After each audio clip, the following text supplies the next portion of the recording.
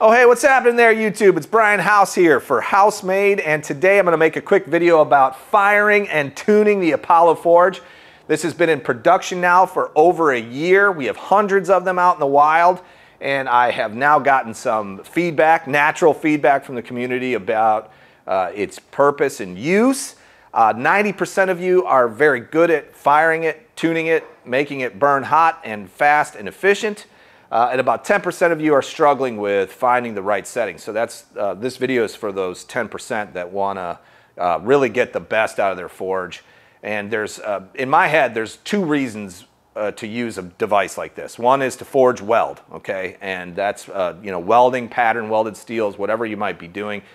getting your interior of your forge hot enough to heat a piece of steel or two pieces of steel to where when you apply pressure, you can get those two pieces of steel to stick together, okay? And you're gonna run about 22 to 2400 Fahrenheit, somewhere in there, okay, to make that happen. Also, if you're not using borax as flux, which I don't prefer, I like kerosene, uh, you need to run a richer environment inside of the forge. This is where the problems start, is that people start running too much propane because they're used to a Venturi burner and they're running it at 8 to 10 PSI, which is really not necessary with the Apollo. I forge weld at 4 PSI, okay, 4 to 5 PSI, 5 at max, okay? And I'm gonna show you how I tune this machine to do that work. I'm gonna use my ears and my eyes, okay, to make that happen. Not a PID controller, not a thermocouple, not an infrared controller, okay? I'm gonna do all of this with my ears and my eyes. And then the other portion of this is that just straight up forging, right? Where you wanna heat up steel to the point where you can manipulate it with say a hammer, power hammer, or press. And uh, this machine does that quite well. And a lot of people do that all in the same forging session. Let's get started with how I start at zero with an Apollo forge, fire it safely, and get it up to working temperature. Okay, we're gonna start at ground zero here with uh, the forge. So this is literally a cold forge, no uh, heat inside of it, and it's not even plugged in. That's the first step. I'm gonna take my extension cord and I'm gonna plug in my blower so it kicks on and starts functioning. Okay, so now that the, uh, the blower is running, we're gonna hook up the propane. Before we hook up the propane, we're gonna make sure our ball valve is closed and that our needle valve is all the way turned to the right or the off position. And we're going to plug in the propane. Now we're over at the propane bottle. We can turn the propane bottle on okay? And at this point, uh, we don't, we're not registering anything on our gauge. I have to stop right here and make sure that when you built an Apollo or a ribbon burner that you have a hose that does in fact have a regulator on it. That's what this device is right here. And the hoses that I recommend, there's a dial on the regulator and a gauge so that you can read how much flow is coming out of this tank. If you don't have this set up, you need to have this set up in order to properly tune and fire your Apollo. All right, so let's dial this up to about one and a half to two PSI. And one and a half to two PSI on this gauge is a very small tick mark, okay? Each one of these big hash marks is 10, 20, 30, 40, 50, 60. We really need just about that much propane okay? This is just for the initial firing. Okay, so let's take a quick uh, look at what we got going on here. Propane tank is open. We have turned the regulator to 1 to 2 psi. That means propane has flowed through this hose up to this valve here. This is our safety solenoid. I'm going to do another video on the safety solenoid. And the propane is sitting, literally stopped at this ball valve. Okay. Now, even if I were to turn this ball valve on right now, uh, no propane flow would actually occur, and that's because the needle valve is fully closed. All right, so that's just something to keep in mind. We have flow from the tank all the way up to the hose to this red ball valve right here, which is, which is good. All right, real quick, let's have a conversation about the air. So when I first fire my forge, I like to have it somewhere in the middle. And you're saying, Brian, how do I know where middle is on this thing? There's no indication. Um, so I'll turn it all the way to the right, which is going to be in the off position, okay? And I'm going to kind of gauge where on and off is. This is my first starting point, okay? I'm going to go ahead and dial it all the way to closed. And yeah, it takes a little bit of time to get there, okay? Because this, this is a gate valve and it takes uh, quite a few turns to get to close. So now I know it's closed. Then I'm going to go all the way to open. 3, 4, 5, 6, 40, 41, 42. So about 42 quarter turns to get there. So I'm going to go back 1, 2, 3, 4, 19, 20, 21 quarter turns back. Now I know I'm in the middle. Sounds exhausting, and it is the first time. After you've done this and you've fired it and you've kind of learned where things go, you don't have to do this every time. Okay, this is just kind of giving you a baseline feeling for how much air is going to be flowing through at mid grade. Then when we get into the tuning portion, you're going to see how I'm going to tune the propane to the air. Okay, so our air is flowing at about 50%, our gate. Propane is at about 2 psi. Ball valve is closed, needle valve is closed. We're going to open the front door of the forge and I'll go over the hinging system uh, in another video and the launch pads and everything else. Don't get distracted by that. Uh, we're going to open the front door and we're going to open the ball valve, okay?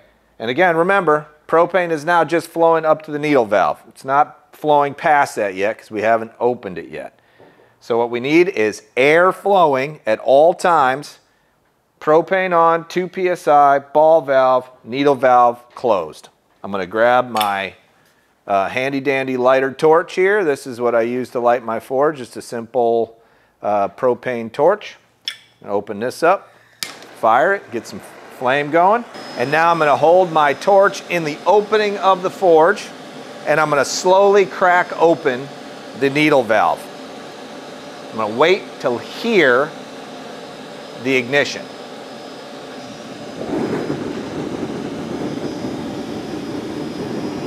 Now you can hear it struggling a little bit and that's because I needed a little to apply a little bit more pressure from the regulator on the tank just to give it a little more flow.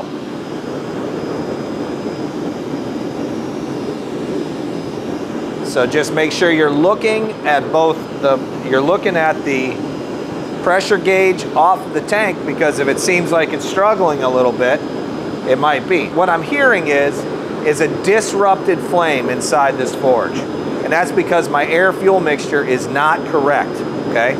I'm to give you a second so you can listen for yourself.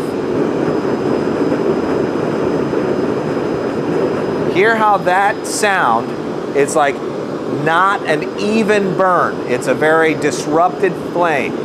We're to do that tuning work and I'm going to show you, get, get bring you in a little closer so you can see exactly what's going on. So you can see that flame looks pretty good in there, but the flame is disrupted, okay? It's burning pretty hot.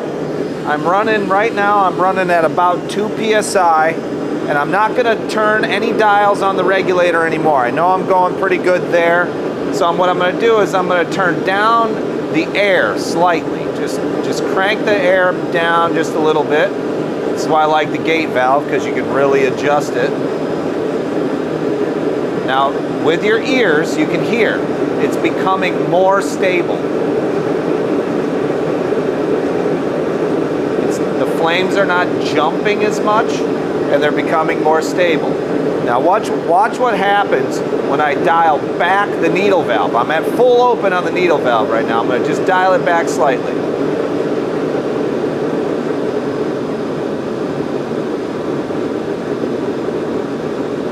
It was about a quarter turn on the needle valve. Look at the difference in the flame, okay? I'm going to open it up again a little bit more. And you can see the, di the difference in the colors coming out of that burner, okay? You've got a light blue in the middle of those cones, and then you got blue and purple all around it, okay? I'm gonna turn the air down a little bit more. Look at what it's doing. Can see the camera is set so that it will not auto adjust to the color. So this is what you're seeing in real time. Turning the air down some more. I'm about right there. I'm going to turn the propane down a little more. And you can hear the forge start to become in tune with itself, okay? Where the flames are flowing at a nice rate, they're not they're not being disrupted at the tips. You can see it's a nice even burn all the way across. And this is where we're gonna sit at for doing normal forging work. Once I close this door and let this sit for about 10 minutes, the interior of this forge is gonna be about 1800 Fahrenheit, okay? Where I, that's where I wanna be doing manipulation of steel, not welding steels together, but just manipulating steels, meaning I'm gonna get it to a, say, cherry red color, and I'm gonna be able to hit it with a hammer, power hammer, or press, and shape it, okay? This is where I wanna be for forging.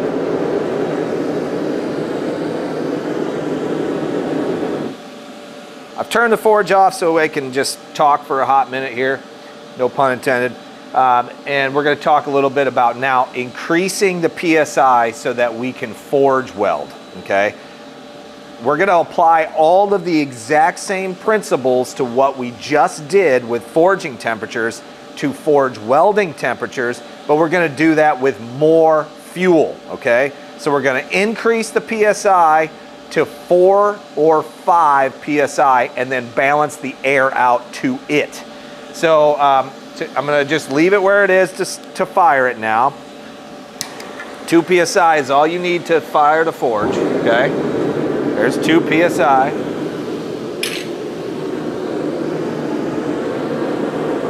Burning beautiful.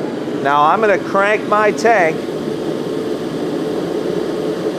to five PSI, okay? And look at the difference inside of that forge now. Look at the heat coming off of that burner. The burner itself doesn't really require a whole lot more air because what we want is a more rich environment inside of the forge, meaning there's combustion happening all the way to the exterior of the forge and about three inches of dragon's breath coming out from the face of the forge. And when I close that door, it's gonna go to about three to four inches underneath the door, okay? If you have fire coming out above your door or around the 50% mark and up, your forge is running too rich, okay? I'm just gonna go ahead and open up just a little bit more air here, and you can see how fast this is getting so hot. I'm standing here now with this door open, and I'm looking inside this forge, and I can tell that it's about 2,000 Fahrenheit already. We've only had it lit for about 10 minutes now. Not even, maybe five to seven minutes. And you can see, this is where I wanna be for forge welding. I literally just changed the PSI on the dial down by the propane tank. I just upped it to 5 PSI and added just a little bit more air to get a nice even burn.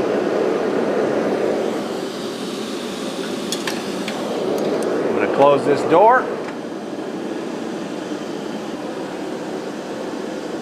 And you can see by closing the door, now it's so quiet, you can be having a conversation next to this. This is another reason why I love a ribbon burner, is because it is not loud like a Venturi burner, okay? Okay, so I'm gonna give you a little bit more of a visual representation. I got the lights down here so you can kind of see this. Um, Forge has been running for about three minutes. I would say it's probably somewhere around 1600 Fahrenheit or so by the color. Um, and I am now running at 2 PSI. This is a good temperature for forging, but not forge welding, okay? What I'm gonna do is I'm gonna increase on my dial down by my tank, that red knob, I'm gonna turn it up to 5 PSI. Now watch what happens. A little bit more flow here. What do you see? You see a little bit of dragon's breath coming out from the bottom and the top, okay? And that is how you know you're running more fuel. Literally the visual here, you're seeing more propane being combusted outside of the forge chamber, all right? Now, if I raise the air, I'm just dialing up the air, add a little bit more air pressure, I can really dial in just minute changes, dial in how much fuel is being combusted outside of the forge. Meaning that the inside of the forge, the atmosphere in there is being completely consumed by fuel, okay? So if you're doing forge welding, this is an ideal environment to do that because you're not gonna build up a whole lot of scale. Now I'm gonna show you what it looks like when you got way, way too much propane. And I've seen these people do this, okay?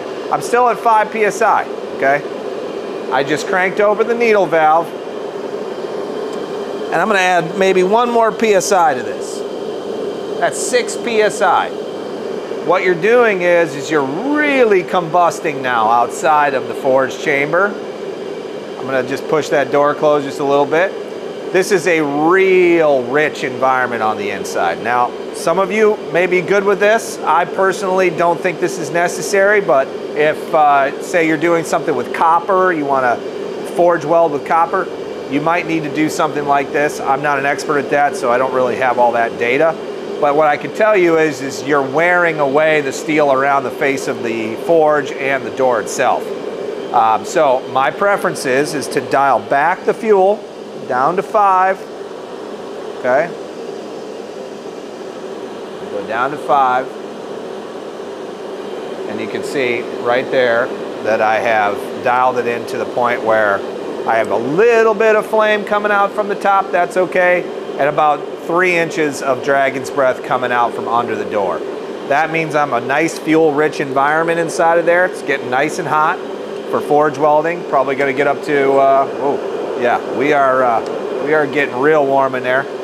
Uh, up to 23, 2400 Fahrenheit already. What I have told people, and I get this question a lot, what's the BTU of the ribbon burner?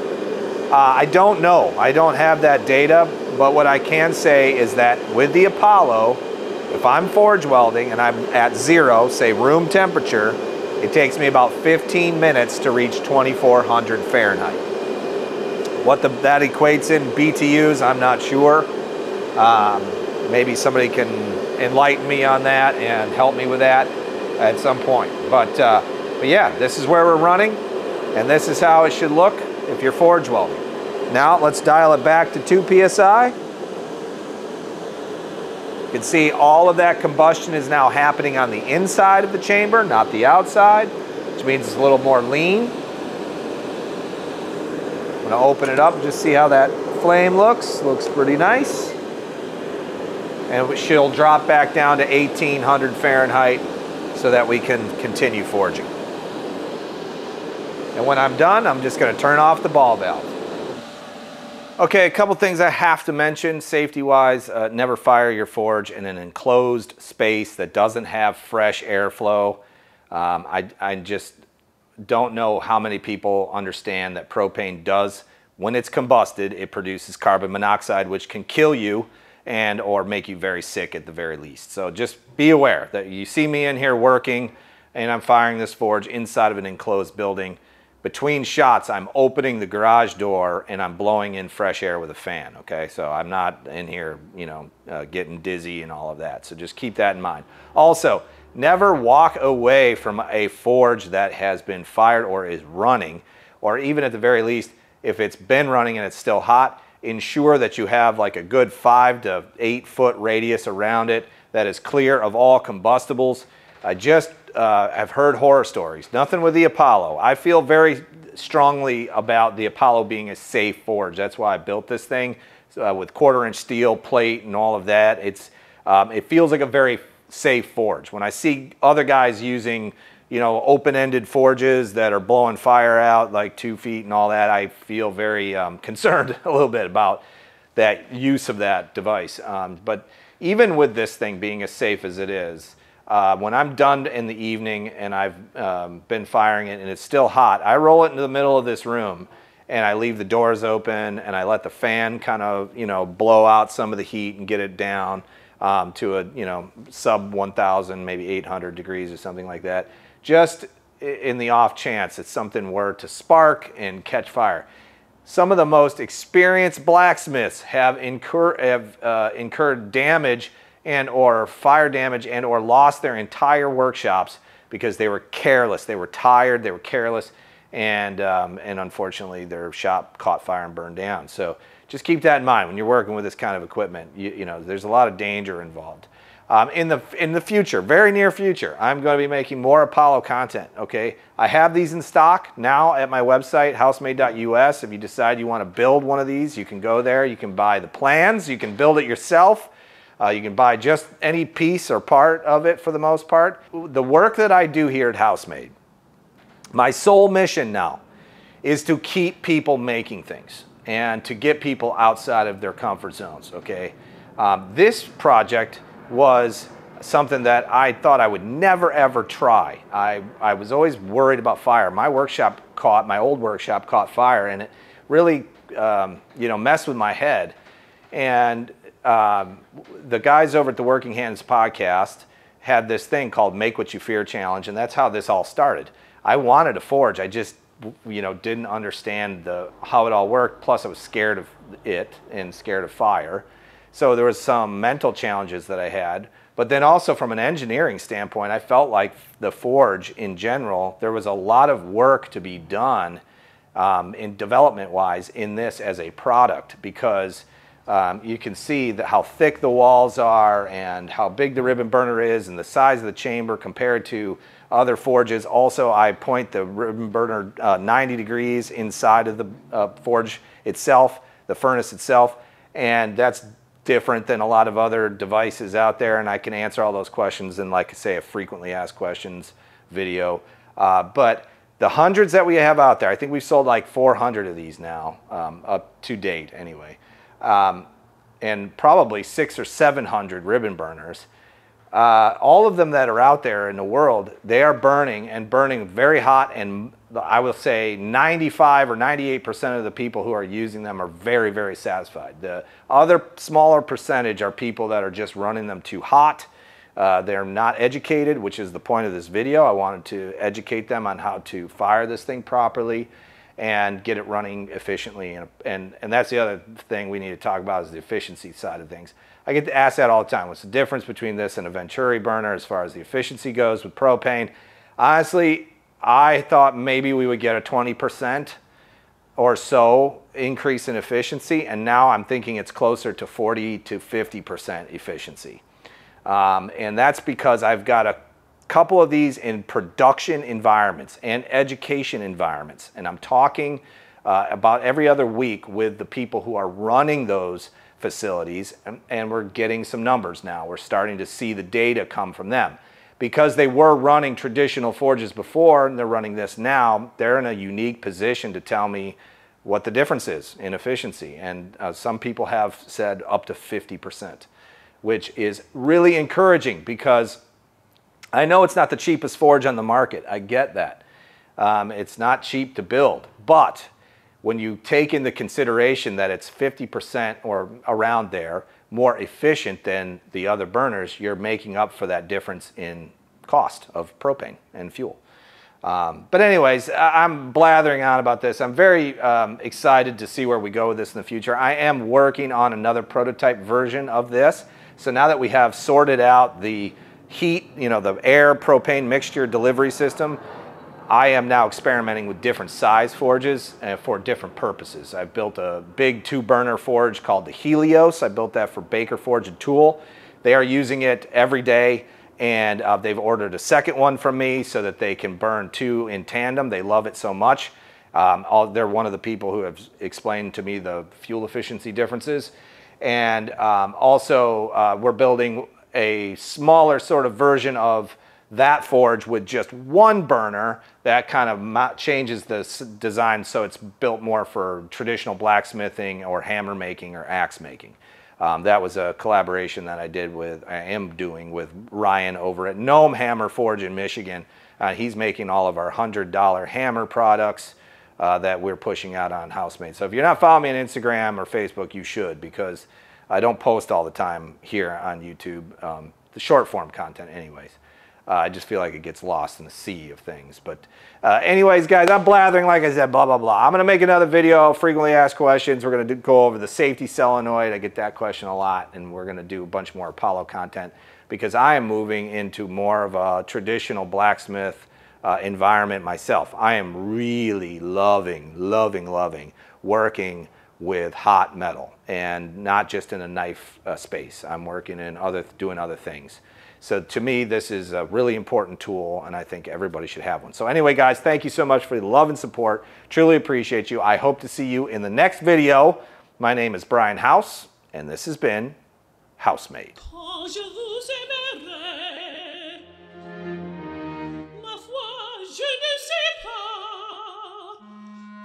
Ma